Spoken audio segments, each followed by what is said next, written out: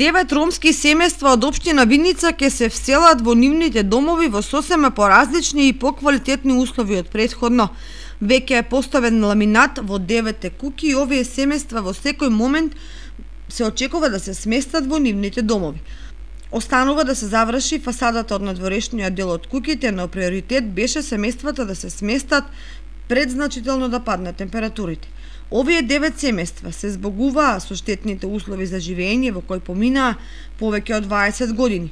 Повеќе нема кровови кои пропуштаат дождови, нема страв дали плафонот ќе падне да повреди некој од децата, веќе нема влага поради која се појавуваат разни болести, ги нема старите и оштетени прозори и врати. Овие девет семејства се дел од вкупната бројка на 22 семејства чии куќи ќе бидат реновирани во општина Виница. Приоритет за реновирање се дава на најзагрозените семејства. Покрај овие активности, на почетокот на ноември се очекува да се отпочнат и инфраструктурните активности во ромската населба блок 18 во општина Виница.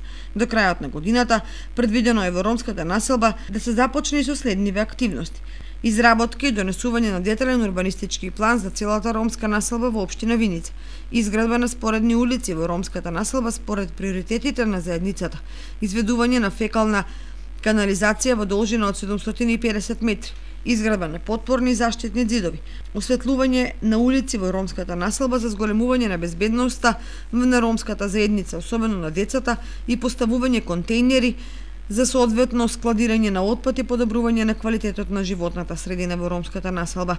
Овие градажни активности се спроведуваат во рамките на проектот обезбедување на пристојни услови за домување за ромската заедница во општина Виница. Проектот го имплементират Челим од Милано, Италија, Ромски ресурсен центар од Скопје и Обштина Виница и истиот е финансиран од страна на Европската Унија во соработка со Министерството за труд и социјална политика. Ромскиот ресурсен центар со своите партнери продолжува посветено да работи на решавање на проблемите на ромската заедница со домување и инфраструктура.